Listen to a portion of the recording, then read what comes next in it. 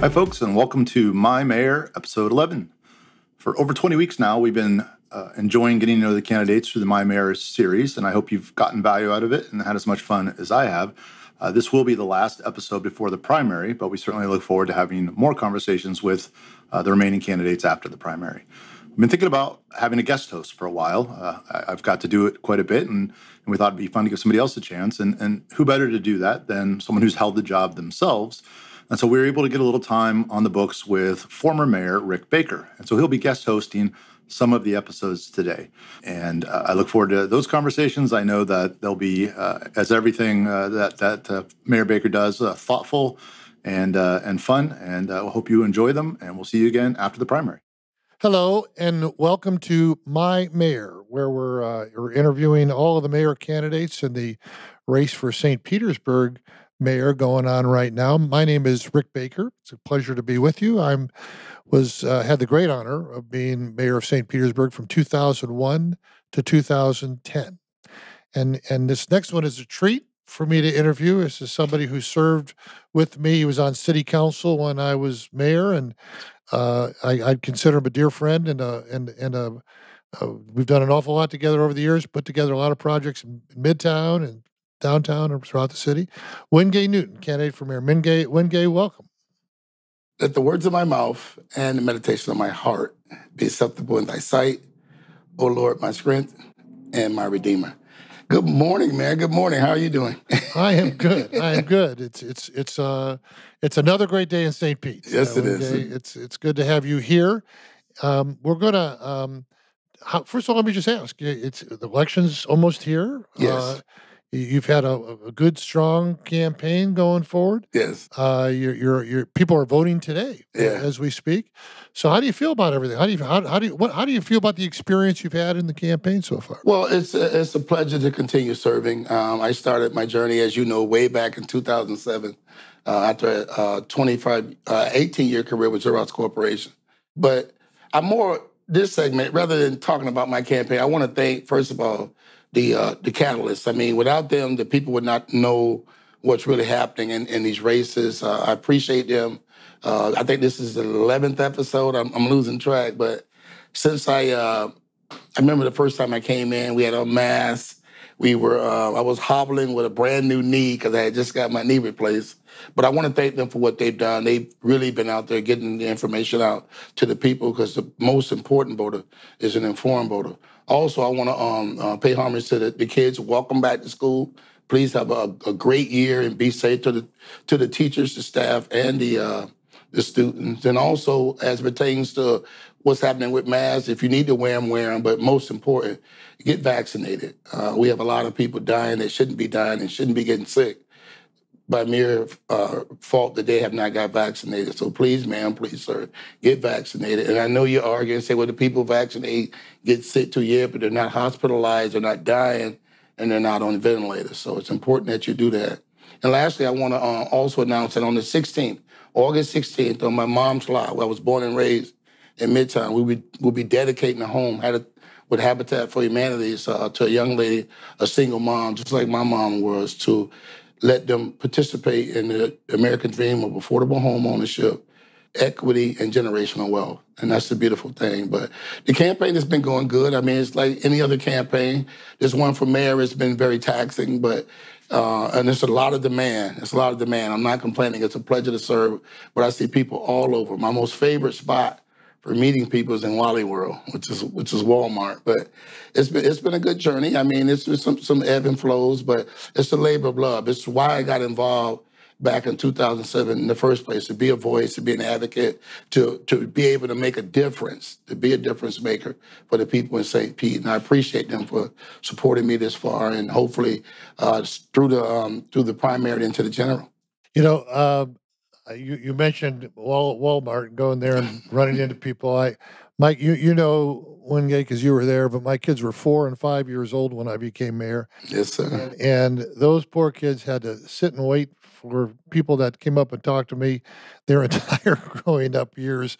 And, and and we used to joke that it took me, you know, an hour and a half to buy a screwdriver at Home Depot because uh, you talk to people. But but in these jobs, you have to love people and, and yes. you do love people. That's that's yes. clear from the way you respond to people when they talk to them and how you approach them. So, so I, I appreciate you being in in in the service. I'm I'm a, I do. And my my wife had one of those Walmart moments. In fact, after I first got elected, I was down in Walmart on the on the south side, uh, and um, up and down every aisle. I always keep a hunk of business cards in my pocket. People were like, "A councilman, I don't mean to bother you, but let me ask you something." I would always hand them a card because I couldn't solve their problems at three o'clock on a Saturday in frozen foods. And my wife was standing there as a, as a trooper, just smiling and and looking up down every aisle. People were stopping us. Mind you, we went into the store at 3 p.m. We came out at seven. She didn't say a mumbling word. I put the groceries in the car. She got in the passenger side. I closed the door. She turned to me and she said, I'm never going to the store with you again. now, she's going to be mad that you just said this and it's going to be online. So like, No, she knows it. And, and, she's not. So to this day, I'll pull up in the Wally World and she'll stay in the car because she know what it's going to be. But yeah, yeah. it's a labor of love. And just like you, sir, you you you resonate. You you you you you've been a mayor. You're still the mayor. I mean, no matter where you go, uh, the people know you, and that's a good thing. I mean, and that's a good thing. And I, am getting the same kind of recognition, but it's not because I'm just a politician. It's because of the service and just generally caring about people. Well, I think people, and I'll get into the main questions, but I think people.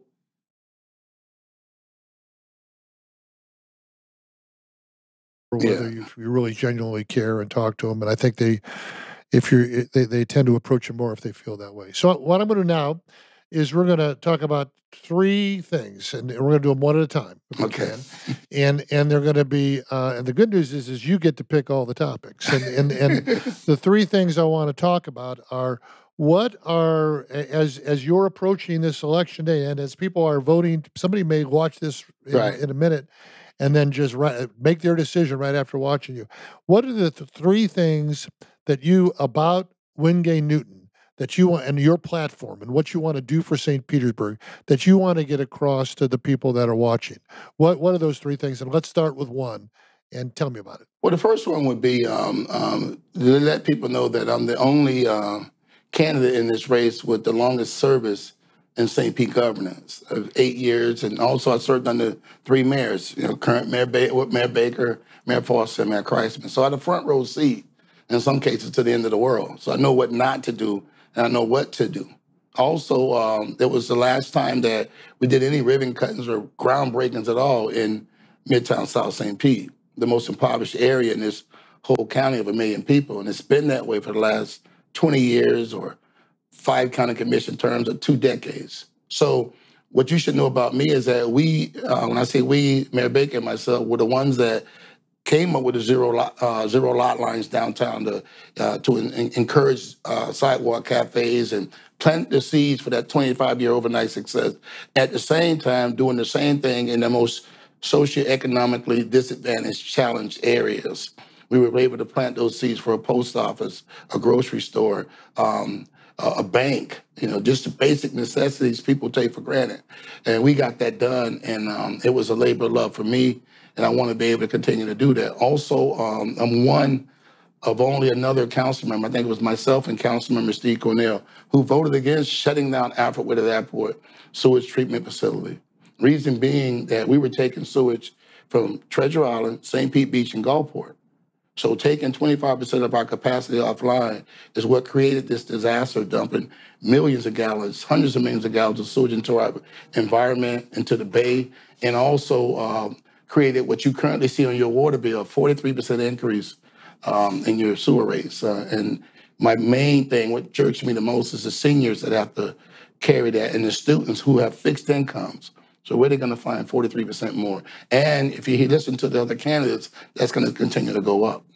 So a follow up on that. The, you, talked about Albert Whitted and and um, you know I believe the misguided decision to close that plant yes. that you fought. You tried to stop that did. from happening and and really within a couple months, uh, the first hard rain we had after closing that plant, when we took off line, probably twenty percent of our capacity. Yes. So you can't you take off line, you can't treat it, and and then there's a big rain, and you have to treat it, and and you got to put it someplace so it winds up un, partially treated or untreated out into the bay, Right. out into the bayous. What was behind your thought process when you were when you were watching that decision being made, and you were you you were, you were and, and by the way, that was made after I left office. Let me just say that for clear. I was not in favor of that decision either. So so tell me what was going through your thought process when when when the administration made the decision to to close that. what was going through my, my thought process, and like I said, the, the, the advantage of serving under three mayors, uh, you yourself, Mayor, Mayor Baker, had a, a, a sewer pipe relining uh, project going on. We were investing in infrastructure. We were doing things to maintain and keep the existing infrastructure strong. And that fully operational, functional wastewater treatment facility was up and running, and that was 20%, as you stated, of our capacity. All we had to do was um, um, um, submit an application to DEP to expand whatever was going to expire. We didn't have to close it down and shelter it. Also, at the same time, the development you see, development is good because it increases your tax base.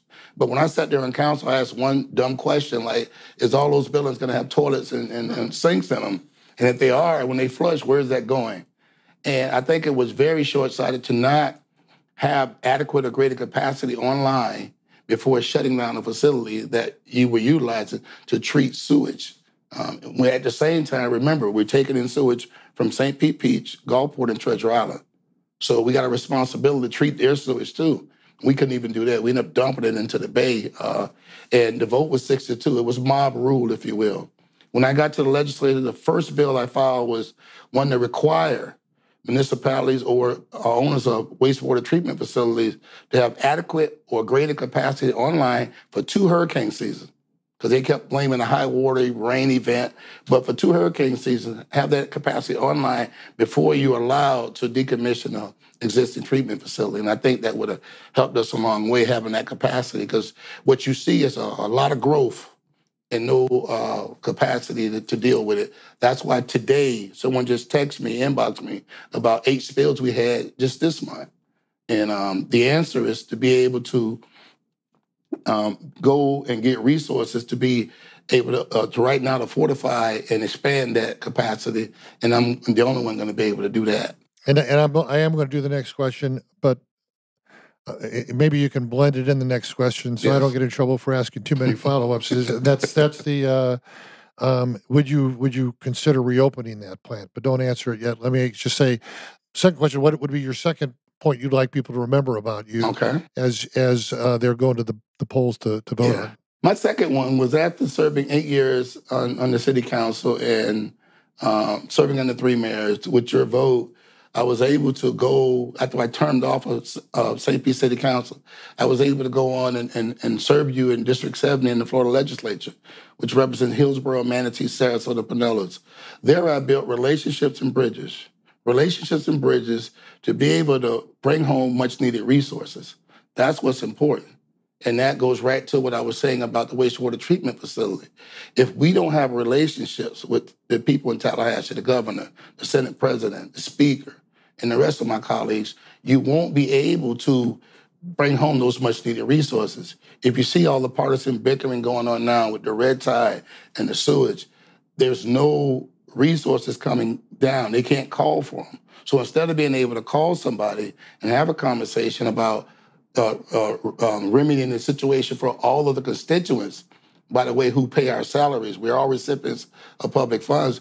We throw press conferences and play poke the bear and try to get you know style points. While you suffer, I'll be able to uh, go up there and do uh, just that because of the relationships I built. I was able to bring back millions for hippie, happy workers, um, St. Pete Pal, and Kind Mouse. I did that every year. And being a, a Democrat in a, in a, a majority controlled Republican legislature, I think it was 73 to 47, we, it was imperative that we worked across the aisle to get things done. It was imperative that we did that. And me representing District 70, which was Hillsborough, Manatee, Sarasota, and Pinellas, which has some of the most social, economically disadvantaged areas in English, poor people, then it was imperative that I work across the aisle to get things done. I don't see party, I don't see race, I don't see sexual orientation. I see getting things done, and that's what uh, you and I did, Mayor, at my time on council. I want to continue that as mayor. So talk about um, you, you you you touched on some of the money you brought back from the legislature. You touched on some of the projects you worked on. We did together in Midtown, and there's a long list of them. Yes, it is. Um, why don't you just take a minute and and kind of go through from 22nd Street to 18th Avenue to Childs Park to Midtown to Right. Dell Home. Go go through just let, so let people know all these projects that that we put together. So so what you've done. Well, since your administration and since my time on, on, on council with you, there's been no growth uh, for the, the the community, which is known as Midtown or Greater Childs Park area. In Midtown, as I said, we had a post office, we had a grocery store, we had a restaurant, we had a bank. Uh, we broke ground on the Job Corps Center. And that grocery store, by the way, I want to go back there. That was 120 jobs, 120 jobs. So you got two administrations after you that each each of them lost a grocery store, and now people are talking about putting a co-op there or or um, grow your own food. But we have areas in this city where you got a Publix across the street from a Publix, so you got to figure out which side you want to shop on. But as we get to Child's Park, we was able to put a Child's Park YMCA uh, out there. We was also able to redo the, the Rattlers football field. We also redid the Child's Park Recreation and Fitness Center. So now they have a fitness center in that area. And we also was able to come up and, and, and unveil and fund the uh, Child's Park um, Lake um, project that we had out there and numerous, uh, numerous um, partnerships with um, YMCA and other groups to help uh, bring things to that area, including uh, Mr. Edwards. You mentioned him earlier. He, it's a lot of that stuff. Yeah, but for He, Mr. he did a lot the Royal Theater and, Yeah. and other projects. yeah, Yeah. but for Mr. Edwards, the Royal Theater, uh, the situation with the transition from Sweet Bay to Walmart, he would pay the imperative road there. Yeah, All did. that stuff took relationships and bridges. You have to have that and be able to work to get those things done. And it's a labor of love for me, and I'm going to continue to do just that. So okay, so there's two the two items. So tell me a third item as your as your uh, as as the, the the the folks watching right now maybe have their ballot in their lap. Right. So tell me what their their uh, why why they should check that box for you. Well, the third item for me is uh, I'm the only member. I'm only member. This is a member pin. If you're wondering what that is on my lapel, that's a member pin. I'm the only member, lifetime member of the Florida legislature. And what that means is, as mayor, day one, when the legislature's in session, I get to go up to Tallahassee, step onto the House floor, be recognized by the speaker, and I'm able to lobby my colleagues and bring home much needed resources like sewer infrastructure and more money for uh, climate change. We just, for the first time, have money in the budget for climate change. So I'll be able to bring some of those funds home to help the people in Snell Island, Shoreacre who are exhibiting the effects of climate change and flooding. All those things are imperative. Again, you have to have a relationship. No one said you had to love them. No one said you had to like them. But you vote for us because we're going to go up there and we're going to work for you. Again, we're recipients of public funds. That definition to me means we work for the public. So if you got a problem, I got a problem. But I'm the only one in the race that has that membership. I know we pay a lobbyist, I don't know, half a million to a million a year to go up and lobby for St. Petersburg issues. And then you get members to, to put in appropriation projects to try to get that stuff in the budget. But what happens when you're partisan and you're playing poke the bear, you end up getting all those things into the budget, but they all get vetoed. They never make it home. I'll give you a plain example, plain as I can do it. I may, you know, punch Mayor Baker in the face, but I, if I don't get beat up, it's going to be very difficult for me to ask him to loan me twenty dollars. You can't be antagonistic, and I want to pay homage to uh, Mayor Buckhorn because he understood that. He was able to bring back much needed resources for Tampa. That's why you see the growth that they had, and they didn't have to raise fees, rates, or whatever you want to call it, on the backs of the people. You know, you want to be able to be able to live here, even though you're at a home, but you, your sewer rates are going up, your light bill's going up.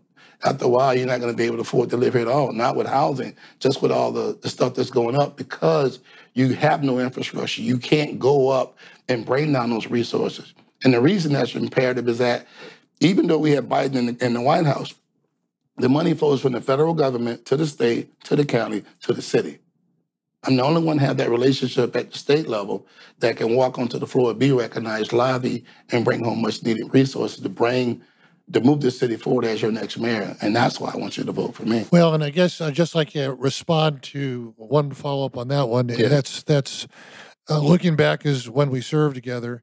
uh, Jeb Bush provided money for the. the let, us focus on what you're talking about, but not just Yes. downtown, but Right. midtown Yes. and Childs Park. And and Governor Bush brought money for the uh, Royal Theater, and he brought money for to rebuild Jordan Park. Yes. Uh, Congressman Young uh, brought money for virtually every project. Yes, he did. Manhattan and Casino, the um, uh, the Mercy Hospital, Yes. the clinic, all that stuff. And you remember, and and and, and President Bush Yes. uh, is one that unlocked the key to get the post office opened up in Yes. in Midtown St. Petersburg. So so. Are those examples that you would you you you would like to emulate to say, if it's Bill Nelson when he was a senator, or if it's a Republican, It doesn't matter. If it's for St. Pete, you're going to go get it. Is that what Well, you're saying? not, not even, yes, exactly what I'm saying, but not even to that. Look at what happened under the, the, the short time that you had to revamp this whole city, downtown and midtown at the same time. Mayor Baker was a Republican, okay? He got all this done with a majority Democratic let, I mean, council. It's always been a majority of Democrats on council. So it's never been a partisan bickering issue. He was able to bring home resources because he had those communications. If you don't know how Walmart got there after Sweet Bay left, you know, Mayor Baker wasn't even in office. But him and Mr. Edwards came, lend their assistance to keep the infrastructure inside the grocery store and uh, to be able to make a phone call to, to a Jeb Bush, and he called the head of Walmart, and now you got a grocery store. You got to be able to call somebody, you know, you know, and that's what's important. You already exhibited that. Those things were partnerships. That's why I say I don't see party, I don't see race, I don't see sexual orientation. I, I just see getting things done, and I know how to do that because I've done that, and I want to continue to do that for the city. We need to in the bickering. We need somebody that'll be able to go up there and work with the people that's there and bring home much needed resources. I don't need any style points. You already blessed me with eight years on council, and you blessed me with um, being in the legislature. And coming from where I come from, which is Midtown South St. Pete, single divorced mom raising eight kids of government subsidies, food stamps, welfare, government cheese, free lunch, reduced lunch, summer jobs, after school jobs. You're looking at it. But everything of my made me everything that I am because I took full advantage of every opportunity to help realize my full potential because those things were a hand up, not a handout. Also, that because of those things, or but for, but for those things, I would not be one of 120 members, 40 senators, a governor, CFO, ag commission, attorney general. No, I wouldn't be one of 120, uh, 64 in charge of 67 counties, 412 cities, and 22 million people. I mean, my God is awesome. But you have to have those relationships and those bridges in which your vote is what made it all possible. So I ask for your vote by mail, so return your ballot. And if not, by mail on August 24th when you go to the polls. Wengay Newton, City Council member, House member of the House of Representatives, and now candidate for mayor of St. Petersburg, and a good friend. Uh, thank you for the time today. Thank you for your service to our city, and your willingness to to jump into the into the ring again. And and good luck to you on election day. Thank you, Mayor. I appreciate it. And uh, thanks to all of you for uh, watching this edition of My Mayor. I hope you have a great day.